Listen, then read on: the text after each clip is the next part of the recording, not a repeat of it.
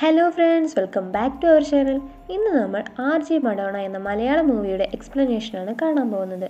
മൂവിയുടെ സ്റ്റാർട്ടിംഗ് സീനിൽ തന്നെ നമ്മുടെ ഹീറോയിൻ മാഗ്നിയെ കാണിക്കുന്നു. അവൾ അവളുടെ ബോയ് ഫ്രണ്ട് വിക്കിയുടെ കൂടെ കൂടുതൽ ആൾതാമസമൊന്നുമില്ലാത്ത ഒരു വീട്ടിലേക്കാണ് പോകുന്നത്.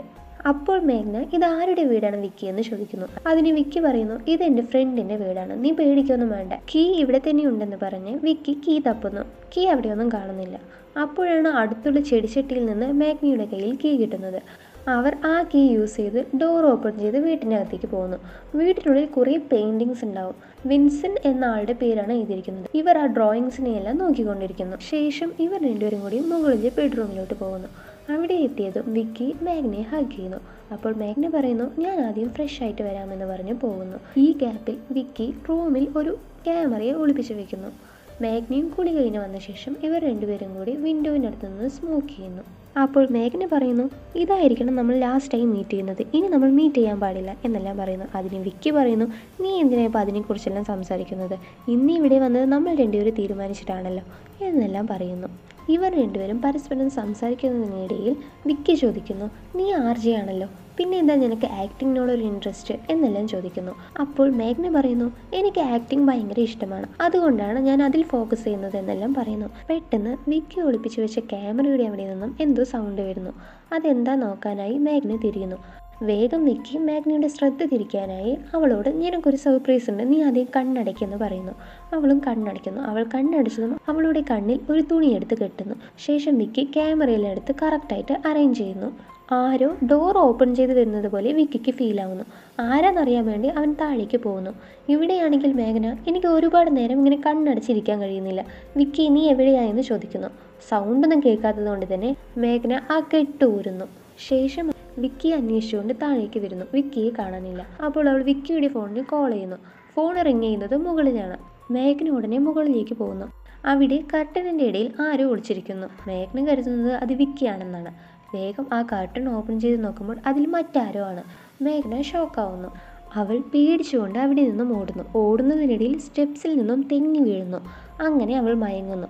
അവളുടെ അടുത്തേക്ക് ആ സ്ക്രീനിൽ ഒളിച്ചിരുന്ന ആൾ വരുന്നു. ഇപ്പോൾ ആ സിഗ്നലും കട്ട് ചെയ്ത് ഫ്ലാഷ് ബാക്ക് കാണിക്കുന്നു. നമ്മുടെ മാഗ്നിയും വിക്കിയും കൂടി കോളേജ് റീയൂണിയൻ ഫംഗ്ഷനിലോട്ട് വന്നിരിക്കുകയാണ്.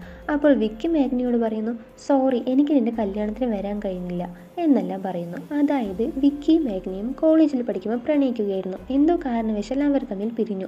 ഇപ്പോൾ മാഗ്ന മറ്റൊരു വ്യക്തിയെ കല്യാണം കഴിച്ചിരിക്കുകയാണ്. വിക്കി മേഘ്നയോട് പറയുന്നു ഞാൻ കുറച്ച് ദിവസത്തിൽ തന്നെ പുറത്തേക്ക് പോകും. അപ്പോഴേക്കും നമുക്കൊരു തവണ മീറ്റ് ചെയ്താലോ എന്ന് ചോദിക്കുന്നു. അതിന് മേഘ്ന പറയുന്നു എനിക്കിപ്പോൾ കല്യാണം കഴിഞ്ഞു. ഇനി നമ്മൾ മീറ്റ് ചെയ്താൽ ശരിയാവില്ല എന്ന്. ഇതുപോലെ മേഘന ഒരുപാട് തവണ വിക്കി മീറ്റ് ചെയ്യാൻ വിളിച്ചപ്പോൾ അതിനെയെല്ലാം അവോയ്ഡ് ചെയ്തുകൊണ്ടിരുന്നു. എന്തായാലും അവസാനമായി ഒരു തവണ മീറ്റ് ചെയ്യാമെന്ന് കരുതിയാണ് മേഘ്നയും വിക്കിയും പ്രസന്റിൽ ഇവിടെ വന്നിരുന്നത്. ഇപ്പോൾ മയക്കത്തിൽ നിന്നും മേഘ്ന എഴുന്നേൽക്കുന്നു. അവളെ അയാൾ കെട്ടിയിട്ടിരിക്കുകയാണ്. ശേഷം അയാൾ അവളുടെ അടുത്തേക്ക് വരുന്നു. അപ്പോൾ മേഘ്ന ചോദിക്കുന്നു നിങ്ങൾ ആരാണ് നിങ്ങൾ എന്തിനാ കെട്ടിയിട്ടിരിക്കുന്നു എന്നെല്ലാം ചോദിക്കുന്നു. അതിന് അയാൾ പറയുന്നു ഈ ചോദ്യം ഞാനാണ് ചോദിക്കേണ്ടത്. ഇത് എന്റെ വീടാണ്. എന്റെ വീട്ടിൽ നിങ്ങൾ എന്തിനാണ് വന്നത്? ഇവിടെ നിന്നും എന്തെങ്കിലും മോഷ്ടിക്കാനാണോ? എന്നെല്ലാം ചോദിക്കുന്നു. അപ്പോൾ മേഘന പറയുന്നു ഞാൻ മോഷ്ടിക്കാനൊന്നുമല്ല. ഞാൻ എന്റെ ഹസ്ബൻഡ് വിക്കിയുടെ കൂടെ വന്നെന്ന്. അപ്പോൾ അയാൾ ചോദിക്കുന്നു വിക്കിയോ? അതാരാണെന്ന്? ഇയാളുടെ പേരാണ് കേട്ടോ വിൻസെന്റ് ഇങ്ങനെ പറഞ്ഞുകൊണ്ടിരിക്കെ തന്നെ മേഘ്നയുടെ ഫോൺ റിങ് ചെയ്യുന്നു. ആ ഫോണിൽ ഹസ്ബൻഡാണ് വിളിക്കുന്നത്. വിൻസെന്റ് ആ കോൾ അറ്റൻഡ് ചെയ്ത് മേഘ്നയ്ക്ക് കൊടുക്കുന്നു. അപ്പോൾ മേഘ്നയുടെ ഹസ്ബൻഡ് ചോദിക്കുന്നു നീ എപ്പോഴാണ് വീട്ടിലേക്ക് വരുന്നതെന്ന്? മേഘ്നയും ഞാൻ കുറച്ച് നേരത്തിൽ വരാമെന്ന് പറയുന്നു. ആ കോൾ കട്ടായതും വിൻസെന്റ് ചോദിക്കുന്നു അപ്പോൾ നിനക്ക് എത്ര ഹസ്ബൻഡാണെന്ന് ഇതെല്ലാം കേൾക്കുന്ന മേഘ്ന ദേഷ്യം പിടിച്ചിരിക്കുന്നുണ്ട്. അപ്പോഴാണ് വിൻസെന്റ് പറയുന്നത് നിങ്ങളുടെ സൗണ്ട് ഞാൻ എവിടെയോ കേട്ടിട്ടുണ്ടെന്ന്. നിങ്ങളല്ലേ ആർ ജെ മേഘ്ന എന്ന്? അപ്പോൾ മേഘ്ന പറയുന്നു അതേന്ന് നിങ്ങളോട് സംസാരിക്കണമെന്ന് ഞാൻ കുറേ ദിവസമായി ആഗ്രഹിക്കുന്നു. എന്തായാലും ഞാൻ കുറച്ച് റെസ്റ്റ് എടുത്തിട്ട് വരാമെന്ന് പറഞ്ഞ് വിൻസെന്റ് പോകുന്നു. ഈ സമയത്ത് മേഘ്ന രക്ഷപ്പെടാൻ വേണ്ടി ഒരുപാട് നിലവിളിക്കുന്നു. ആ കെട്ടെല്ലാം അഴിക്കാൻ നോക്കുന്നുണ്ട്. എന്നാൽ ഒന്നും തന്നെ സംഭവിക്കുന്നില്ല. ആ വീട് ഏകദേശം ഉൾപ്രദേശത്തായതുകൊണ്ട് തന്നെ അടുത്ത വീടുകളൊന്നുമില്ല. സോ ഇവൾ എത്ര നിലവിളിച്ചാലും ആരും സഹായത്തിന് വരാൻ പോകുന്നില്ല. അവൾ കയ്യിലെ കെട്ടുകൾ അഴിക്കാൻ ശ്രമിക്കുന്നതിനിടയിൽ ചെയറിൽ നിന്നും വീഴുന്നു. കുറച്ചു നേരത്തിൽ തന്നെ അവിടേക്ക് വിക്കി വരുന്നു. വിക്കി വന്ന ശേഷം അവളുടെ കയ്യിലെ കെട്ടുകളെല്ലാം അഴിക്കുന്നു. അപ്പോൾ മേഘന ഇവിടെ എന്താ സംഭവിക്കുന്നത് എന്നെല്ലാം ചോദിച്ച് ഒരുപാട് കരയുന്നു. വിക്കി അവളോട് ഒന്നും സംഭവിച്ചിട്ടില്ല എന്ന് പറഞ്ഞ് ഹഗ് ചെയ്യുന്നു. ഇതെല്ലാമേ മേഘ്നയുടെ സ്വപ്നമാണ്. അവൾ ഇപ്പോൾ തറയിൽ വീണ് കിടക്കുന്ന അതേ സാഹചര്യത്തിൽ തന്നെയാണ് കിടക്കുന്നത്. വിൻസെന്റ് ഉറങ്ങുമ്പോൾ അവൻ അലാറം അടിക്കുന്നു. അവൻ എഴുന്നേറ്റ് വന്ന് മാഗ്നയ്ക്ക് എന്തെങ്കിലും ഉണ്ടാക്കി കൊടുക്കാൻ പറ്റുമെന്ന് പറഞ്ഞ് മാഗി ഉണ്ടാക്കുന്നു. ശേഷം അവളെ കാണാനായി വരുന്നു. അവൾ തറയിൽ വീണ് കിടക്കുകയാണ്. അവളെ എണീപ്പിക്കാൻ വേണ്ടി ശ്രമിക്കുമ്പോൾ അവൾ പറയുന്നു എന്നെ തൊടണ്ട എന്ന്. വിൻസെന്റ് ഒരു ചെയർ എടുത്തിട്ട് അതിലിരുന്ന് അവളുമായി സംസാരിക്കാൻ ശ്രമിക്കുന്നു. അപ്പോഴേക്കും ആരോ കോളിംഗ് ബെൽ അടിക്കുന്നു. ഇതാണല്ലോ കറക്റ്റ് സമയമെന്ന് പറഞ്ഞ് മേഘ്ന അലറി വിളിക്കുന്നു. വിൻസെന്റ് വേഗം അവളുടെ വായിൽ ഒരു ടേപ്പ് എടുത്ത് ഒട്ടിച്ചിട്ട് താഴെ പോകുന്നു. അവിടെ താഴെ കോളിംഗ് ബെൽ അടിച്ച വ്യക്തി ആയിക്കോട്ടെ ഈ സൗണ്ട് നേരെ കേട്ടില്ല. എന്നാലും എവിടെയോ എന്തോ കേട്ടു എന്ന ഭാവത്തിലാണ് നിൽക്കുന്നത്. വിൻസന് പച്ചക്കറികൾ കൊണ്ടുവന്ന പയ്യനായിരുന്നു അത്. അവൻ ക്യാഷ് ആവശ്യപ്പെടുന്നു. വിൻസൻ ക്യാഷ് എടുക്കാനായി മുകളിലോട്ട് പോകുന്നു. ഈ ഗ്യാപ്പിൽ ആ പയ്യനും ആ റൂമിൽ ആ റൂമിന്റെ അടുത്തേക്ക് പോകുന്നു. അവിടെ വെച്ച് മേഘ്നയെ കാണുന്നു. വായിൽ പ്ലാസ്റ്റർ ഒക്കെ ഒട്ടിച്ച് കെട്ടിയിട്ട അവസ്ഥയിലാണല്ലോ മേഘ്ന. അത് കണ്ടിട്ട് ആ പയ്യന് ഡൗട്ട് വരുന്നു. ആ സമയം വിൻസൻ അവിടേക്ക് വന്ന് ഒരു ഡ്രോയിങ് ബോർഡ് എടുത്ത് അവളെ ആ രീതിയിൽ ചിത്രം വരയ്ക്കുന്നത് പോലെ കാണിക്കുന്നു. അപ്പോൾ ആ പയ്യൻ കരുതുന്നു ഓ ഈ ചേച്ചി ഡ്രോയിങ്ങിന് വേണ്ടി പോസ് ചെയ്തിരിക്കുകയാണെന്ന്. എന്നാലും മേഘ്ന എന്തോ പറയാൻ വേണ്ടി ശ്രമിക്കുന്നു. ഇങ്ങനെ എക്സ്പ്രഷൻസ് ഒക്കെ കാണിക്കുന്നുണ്ട്. ആ പയ്യന് വീണ്ടും ഡൗട്ട് വരുന്നു. അപ്പോൾ വേഗം വിൻസെന്റ് പറയുന്നു കമോൺ ഇതുപോലെ തന്നെ എക്സ്പ്രഷൻ ഇട് എന്നാലേ എനിക്ക് വരയ്ക്കാൻ കഴിയുള്ളൂ എന്നെല്ലാം പറയുന്നു. ഇപ്പോൾ ആ പയ്യന് ഒരു ഡൗട്ടുമില്ല ഓ ഡ്രോയിങ്ങിന് വേണ്ടി ഇങ്ങനെയാണല്ലേ എക്സ്പ്രഷൻ കൊടുക്കുന്നത്? എന്ന് വിചാരിച്ചുകൊണ്ട് അവൻ പുറത്തേക്ക് പോകുന്നു. വിൻസൻ ആയിക്കോട്ടെ ഷേവ് എല്ലാം ചെയ്ത് സുന്ദരക്കുട്ടപ്പനായി ഒരു ടേപ്പ് റെക്കോർഡറും എടുത്തിട്ട് വരുന്നു. അതായത് ആർ ജെ മേഘ്നയുടെ പരിപാടിയെല്ലാം ഇവൻ റെക്കോർഡ് ചെയ്ത് വെച്ചിട്ടുണ്ടായിരുന്നു. ആ റെക്കോർഡറുമായിട്ടാണ് വരുന്നത്. ആ റെക്കോർഡ് പ്ലേ ചെയ്യുന്നു. അതൊക്കെ കേട്ടുകൊണ്ട് അതിലൊരു പാട്ട് പ്ലേ ചെയ്യുന്ന സമയത്ത് വിൻസെന്റ് ഡാൻസ് ഒക്കെ ചെയ്യുന്നുണ്ട്. ഇതെല്ലാം കാണുന്ന മേഘ്ന ഒരുപാട് പേടിക്കുന്നുമുണ്ട്. മേഘ്ന വിൻസെന്റിനോട് നിങ്ങൾക്ക് എന്താ വേണ്ടത്? പണമാണോ? എന്നെല്ലാം ചോദിക്കുന്നു. അപ്പോൾ വിൻസെന്റ് പറയുന്നു എന്റെ കൂടെ കുറിച്ച് സംസാരിച്ചാൽ മതി. എനിക്ക് ഫ്രണ്ട്സ് ഒന്നുമില്ല എന്നെല്ലാം പറയുന്നു. മേഘ്നയാണെങ്കിൽ ഒന്നും മിണ്ടുന്നില്ല. അപ്പോൾ വിൻസെന്റ് ചോദിക്കുന്നു അതെന്താ എന്നോട് സംസാരിച്ചാൽ? എന്നോട് സംസാരിക്കാൻ പാടില്ലേ? എന്നെല്ലാം ചോദിക്കുന്നുണ്ട്. അതെല്ലാം ഇരിക്കട്ടെ നീ എന്താണ് ഹസ്ബൻഡ് ഉള്ളപ്പോൾ വിക്കിയുടെ കൂടെ ഇവിടെ വന്നെന്ന് ചോദിക്കുന്നു. ഇത് കേൾക്കുന്ന മേഘനയ്ക്കാണെങ്കിൽ ഒരുപാട് ദേഷ്യം വരുന്നു ഇതെല്ലാം എന്റെ പേഴ്സണൽ കാര്യമാണ്. ഇതിലൊന്നും നിങ്ങൾ ചോദ്യം ചെയ്യേണ്ട എന്നും പറയുന്നു. അപ്പോൾ തന്നെ മേഘനയുടെ ഫോണിലേക്ക് അജയ് എന്ന വ്യക്തിയുടെ കോൾ വരുന്നു. വിൻസെന്റ് ആ കോൾ അറ്റൻഡ് ചെയ്ത് മേഘനയ്ക്ക് കാണിക്കുന്നു. ആ അജയ് പറയുന്നു മേഡം ഇവിടെ ഷൂട്ട് ഷൂട്ടെല്ലാം ഓക്കെയാണ് ഞാൻ ക്ലൈമാക്സിന്റെ സ്റ്റോറി പറയട്ടെ എന്ന് ചോദിക്കുന്നു. അപ്പോൾ മേഘന പറയുന്നു ഞാനിപ്പോൾ ഫ്രീ അല്ല എന്ന്. കോൾ കട്ടായതിനു ശേഷം മേഘന വിൻസെന്റിനോട് പറയുന്നു ഞാനിപ്പോൾ എന്റെ സിനിമ ഷൂട്ടിങ്ങിലാണ് പ്ലീസ് എന്നെ വെറുതെ വിട് എന്നും പറയുന്നു. അപ്പോൾ വിൻസെന്റ് പറയുന്നു നിന്നെ ഞാൻ ഒന്നും ചെയ്യില്ല. എന്റെ കൂടെ കുറച്ച് നേരം ടൈം സ്പെൻഡ് ചെയ്താൽ മതി. നിന്നെ ഞാൻ വെറുതെ വിടാം എന്നെല്ലാം പറയുന്നു. ശേഷം വിൻസൻ ഒരു വയലിൻ എടുത്ത് അതിനെ വായിക്കുന്നു. മേഘ്നയോട് ഇതെങ്ങനെയുണ്ടെന്ന് ചോദിക്കുന്നു. മേഘ്നയും നന്നായിട്ടുണ്ട് എന്ന പോലെ തലയാട്ടുന്നു. അപ്പോൾ വിൻസൻ പറയുന്നു കണ്ടോ ഇതുപോലെ എന്നോട് പറയാൻ ആരുമില്ല. ഞാൻ ഒറ്റയ്ക്കാണ് ജീവിക്കുന്നത്. ഇങ്ങനെ ഒറ്റയ്ക്കിരിക്കുന്നത് എത്ര വലിയ കഷ്ടമാണെന്നറിയോ? എന്തായാലും പോട്ടെ എനിക്കിപ്പോൾ എന്റെ ഫ്രണ്ടായിട്ട് വലിയ സെലിബ്രിറ്റീനെ തന്നെ കിട്ടിയല്ലോ എന്ന് പറയുന്നു. അപ്പോൾ മേഘന കുറച്ചു നേരം എന്തോ ആലോചിച്ചതിന് ശേഷം എനിക്ക് വാഷ്റൂമിൽ പോകണമെന്ന് പറയുന്നു. വിൻസൻ ഒന്നും മിണ്ടുന്നില്ല. അപ്പോൾ മേഘന പറയുന്നു ഒരു ഫ്രണ്ടിന് വേണ്ടി ഇതുപോലും ചെയ്യില്ലേ എന്ന് ഇത് കേട്ടത് വിൻസെന്റ് ഒരുപാട് ഹാപ്പി ആവുന്നു. അവൻ കെട്ടുകളെല്ലാം അഴിച്ചു വിടുന്നു. അവൾ വേഗം ബാത്റൂമിലേക്ക് വന്ന് ബാത്റൂമിലെ ചെറിയ ജനലിൽ നിന്നും എസ്കേപ്പ് ആവാൻ ശ്രമിക്കുന്നു.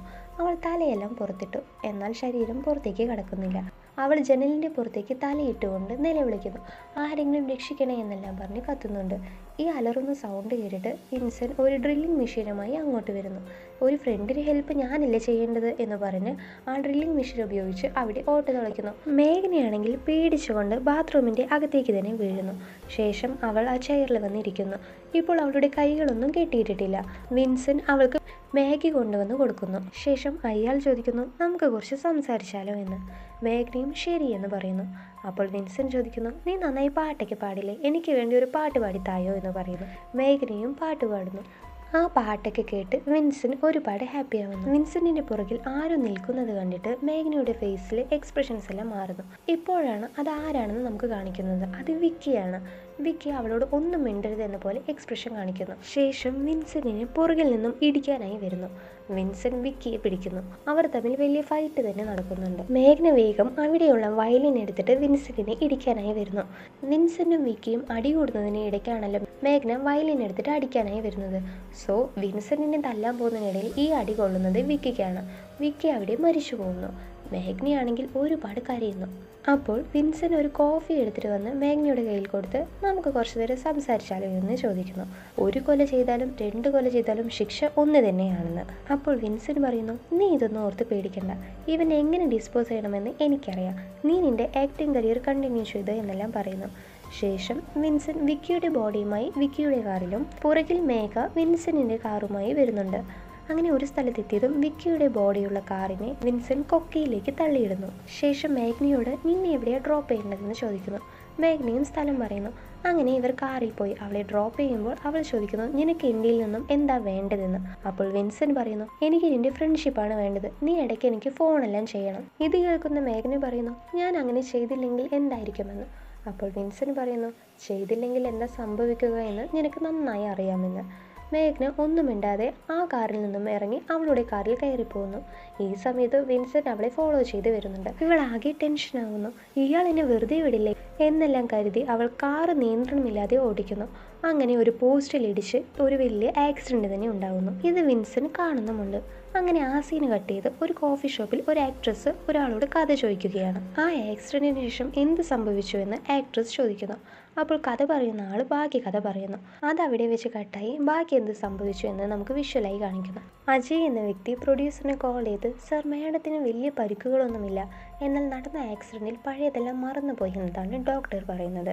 എന്നിങ്ങനെ സംസാരിക്കുമ്പോൾ വിൻസെന്റ് ഇതെല്ലാം കേൾക്കുന്നു. അവൻ വേഗം മേഘ്ന കിടക്കുന്ന റൂമിലോട്ട് പോകുന്നു. വിൻസെന്റിനെ കണ്ടത് മേഘന നിങ്ങൾ ആരാണ്? നിങ്ങൾ എന്തിനാ ഇവിടെ വന്നത്? എന്നെല്ലാം ചോദിച്ച് അവൾ നിലവിളിക്കുന്നു. നിനക്ക് എന്നെ ഓർമ്മയില്ലേ? എന്നെല്ലാം ചോദിക്കുന്നു. ഈ സമയത്ത് അജയ് അവിടേക്ക് വന്ന് വിൻസെന്റിനോട് നിങ്ങൾ ആരാണെന്ന് ചോദിക്കുന്നു. അപ്പോൾ വിൻസെന്റ് പറയുന്നു ഞങ്ങൾ ഫ്രണ്ട്സ് ആണെന്ന്. സോറി സാർ മേഡത്തിനെല്ലാം മറന്നുപോയി. നിങ്ങൾ ദയവ് ചെയ്ത് പുറത്തു പോകൂ എന്ന് പറയുന്നു. പുറത്തേക്ക് പോകാൻ നിൽക്കുന്ന വിൻസെന്റ് ഡോറിന്റെ അവിടെ എത്തിയതും മേഘനയെ നോക്കി നീ കള്ളം പറയുമ്പോൾ നിന്നെ കള്ളൻ ഭയങ്കര ഭംഗിയാ എന്ന് പറയുന്നു. അവളും വിൻസെന്റിനെ പേടിയോടുകൂടി നോക്കുന്നു. അങ്ങനെ ആ സീന് കട്ട് ചെയ്ത് കോഫി ഷോപ്പിലെ ആക്ട്രസ് ചോദിക്കുന്നു ശരിക്കും മേഘനയെല്ലാം മറന്നുപോയോ എന്ന്. അപ്പോൾ കഥ പറയുന്ന വ്യക്തിയും അതേ മേഡം അവരെല്ലാം മറന്നുപോയെന്ന് പറയുന്നു. ശരി വിക്കി ഒളിപ്പിച്ച ആ ക്യാമറ എവിടെ പോയെന്ന് ആക്ട്രസ് ചോദിക്കുന്നു. ഇപ്പോഴാണ് നമുക്ക് കഥ പറഞ്ഞുകൊണ്ടിരിക്കുന്ന വ്യക്തിയെ കാണിക്കുന്നത്. അയാൾ പറയുന്നു വിൻസെന്റിന്റെ വീട്ടിലേക്ക് സാധനങ്ങളെല്ലാം വാങ്ങിക്കൊടുക്കുന്ന പയ്യൻ പിറ്റേ ദിവസവും ആ വീട്ടിലേക്ക് വരുന്നു. ആ വീട്ടിൽ സൗണ്ടൊന്നും കേൾക്കാത്തത് കൊണ്ട് തന്നെ ആ പയ്യൻ റൂമിലോട്ട് പോകുന്നു. റൂമിൽ വിൻസൻ ആണെങ്കിൽ താൻ വരച്ച ഡ്രോയിങ് സ്റ്റോണെല്ലാം ഒറ്റയ്ക്കിരുന്ന് എന്തോ സംസാരിച്ചുകൊണ്ടിരിക്കുന്നു. ഇപ്പോഴറിയുന്നത് വിൻസൻ ഒരു മാനസിക രോഗിയാണ്. ആ പയ്യൻ വിൻസനെ വിളിക്കുന്നുണ്ട്. എന്നാൽ വിൻസൻ അതൊന്നും അറിയുന്നില്ല. ഈ സമയത്ത് എലി എന്തോ ഓടുന്ന പോലെയുള്ള സൗണ്ട് കേൾക്കുന്നു. ആ പയ്യൻ അങ്ങോട്ട് തിരിയുമ്പോൾ അവിടെ ആ ക്യാമറ കിട്ടുന്നു. ഇപ്പോൾ പ്രസന്റിൽ ആ ആക്ട്രസ് ചോദിക്കുന്നു ആ ക്യാമറ കിട്ടിയ പയ്യൻ എന്തു ചെയ്തു എന്ന് ചോദിക്കുന്നു. അതിന് ആ കഥ പറയുന്ന ആൾ പറയുന്നു ആ പയ്യന് മൂവീസിനോടെല്ലാം ഭയങ്കര ഇഷ്ടമാണ്. സോ ഈ കഥയെ മൂവി എടുക്കാമെന്ന് വിചാരിക്കുന്നു. ഈ കഥയെ ഒരു ആക്ട്രസിനോട് പറയുന്നത് പോലെയാണ് ഈ മൂവി എൻഡ് ചെയ്യുന്നത്. ഇങ്ങനെയാണ് ഈ മൂവി എൻഡ് ചെയ്യുന്നത് എന്ന പോലെ ആ കഥ പറയുന്ന ആൾ പറയുന്നു. ഈ മൂവി സ്റ്റോറി നിങ്ങൾക്ക് ഇഷ്ടമായോ എന്ന് ആ കഥ പറയുന്ന ആൾ ആക്ട്രസിനോട് ചോദിക്കുന്നു. അപ്പോൾ ആക്ട്രസ് പറയുന്നു നമുക്ക് ഈ മൂവി ചെയ്യുന്നതിനെ കുറിച്ച് ആലോചിക്കാമെന്ന്. താങ്ക് യു മാഡം എന്ന് പറഞ്ഞ് ആ കഥ പറയുന്ന ആൾ അവിടെ നിന്നും പോകുന്നു. ആക്ട്രസ് അയാളെ വിളിച്ചിട്ട് ആ കഥയിലുണ്ടായിരുന്ന പയ്യനും നിങ്ങളും ഒരേ ആളല്ലേ എന്ന് പറയുന്നു. അപ്പോൾ അയാൾ പറയുന്നു ഏയ് അങ്ങനെയൊന്നുമില്ല എന്ന് പറഞ്ഞ് ചിരിച്ചുകൊണ്ട് പോകുന്നു. ശരിക്കും അവൻ കണ്ട കാര്യം തന്നെയാണ് അവൻ മൂവിയാക്കാൻ നോക്കുന്നത്. ഇപ്പോൾ അത് കട്ട് ചെയ്ത് മേഘനയെ കാണിക്കുന്നു. മേഘന കാറിൽ പോയിക്കൊണ്ടിരിക്കുകയാണ്. പെട്ടെന്ന് ഡ്രൈവറിനോട് കാർ സ്റ്റോപ്പ് ചെയ്യാൻ പറയുന്നു.